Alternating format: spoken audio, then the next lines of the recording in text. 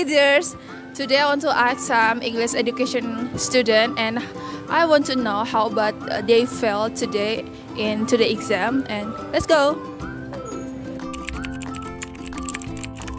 Hi. Hello, uh, my name is Kiran. My name is Indah. I am Aditya Patra. Hi, my name is Abdi.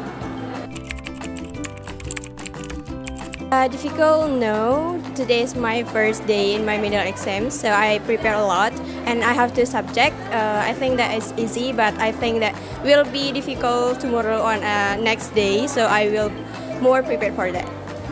Uh, I prepare a lot. Uh, the difficulty is 50-50 and I always believe to Allah I can answer the question. That, that's all. I prepares absolutely zero, and I think it is absolutely uh, super difficult for me. Uh, I don't think it's difficult for me because I prepared a lot last night for today.